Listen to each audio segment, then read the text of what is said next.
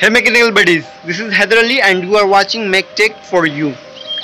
Actually ये video जो है मैं शूट कर रहा हूँ अपने फ्रंट मोबाइल के कैमरा से।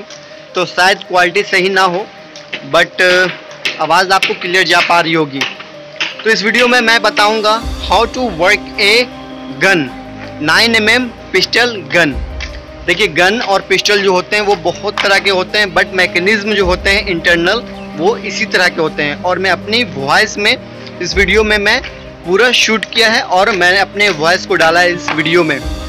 ओके तो आप विदाउट एनी स्किप आप शुरू से लेके लास्ट तक वीडियो को देखिएगा तो समझ पाइएगा कि बैरल कैसे काम करता है मैगजीन को कैसे सेट किया जाता है ट्रिगर कैसे काम करता है और बुलेट जो है, कैसे फायर होता है, निकल के जाता है। तो इस वीडियो में मैं शुरू से लेकर लास्ट तक देखने के लिए इसलिए बोल रहा हूँ क्योंकि आप पूरे मैकेनिज्म को समझ पाओगे।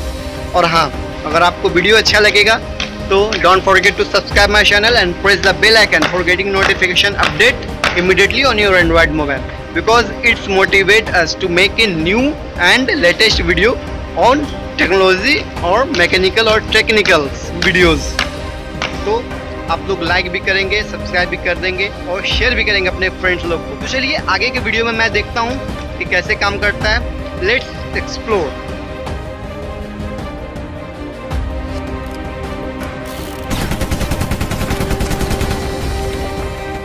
गन बहुत टाइप के होते हैं, पर अलग अलग गन के मैकेनिज्म अलग होती है, पर सभी गन्स के बेसिक प्रिंसिपल जो है, वो एक ही काम करती है।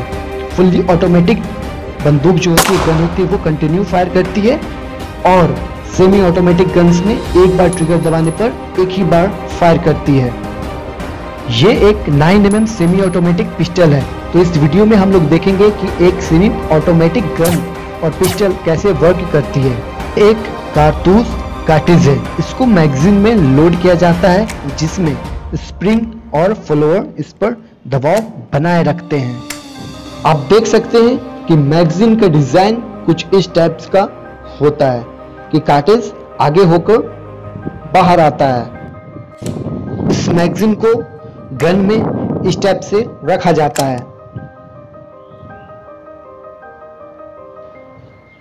यहाँ पर आप इंपॉर्टेंट इंटरनल पार्ट्स को देख पा रहे होंगे। इसे आप नोट कर सकते हैं। गन को फ़र्स्ट टाइम फायर करने के लिए रिक्वायल स्प्रिंग के अगेंस्ट स्लाइडर को वन हैंड से पीछे खींचा जाता है। इसी की वजह से बहुत सारी चीज़ें एक साथ होती है, जिन्हें हम वन बाय वन बताएँगे। स्लाइडर के मूवमेंट की वजह से हैमर पीछे आता है और ये हैमर जो है हैमर स्टर्ट के ज़रिए मेन स्प्रिंग से अटैच हुआ रहता है। तो आगे हम बताएँगे और दिखाएँगे वन बाई वन ये है शेयर ये हैमर के मूवमेंट को कंट्रोल करता है। जब स्लाइडर पीछे जाता है, तब शेयर लिफ्ट स्प्रिंग के प्रेशर से हैमर के साथ इंगेज हो जाता है और हैमर को वापस जाने से रोकता है।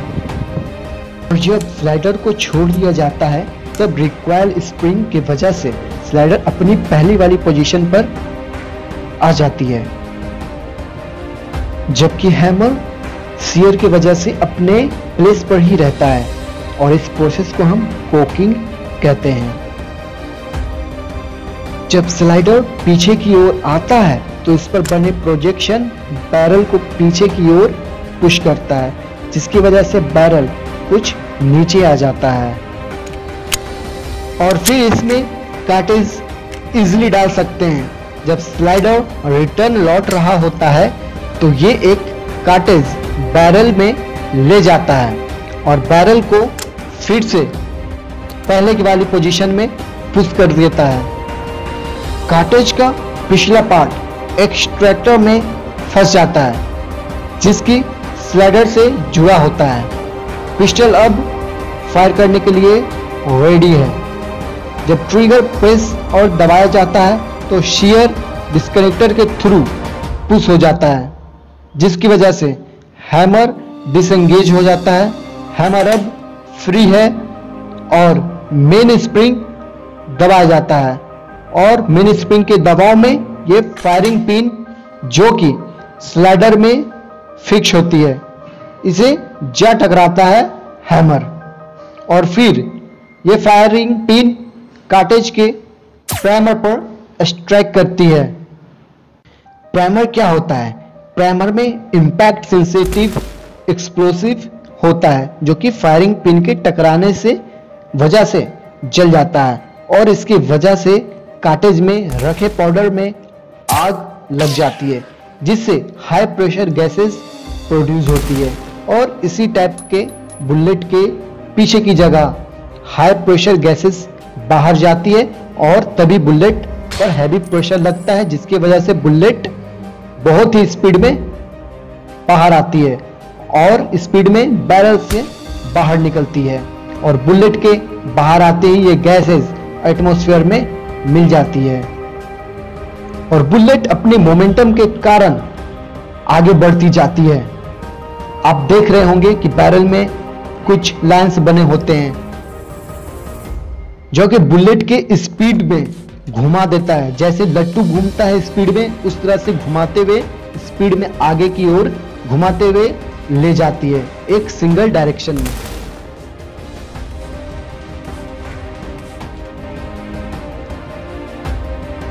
एक्सप्लोशन जब होती है तो आधी एनर्जी एक्सप्लोशन के स्लाइडर को पीछे ढकेल देती है और उसे ढकेलने में ही यूज़ हो जाती है।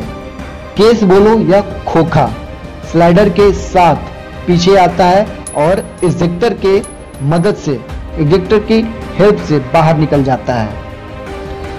साथ ही साथ स्लाइडर हैमर को पीछे पुश करता है और गन अपने आप ऑटोमेटिक लोड हो जाता है और लोड भी कर देता है।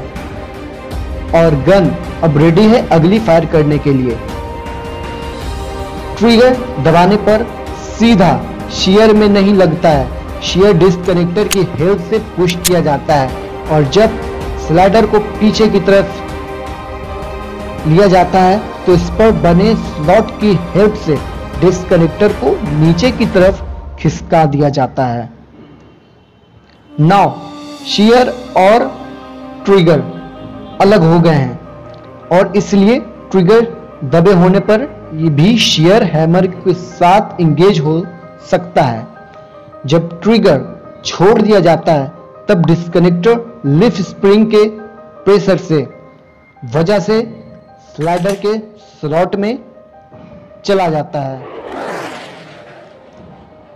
और अब गन फिर से फायर की जा सकती है।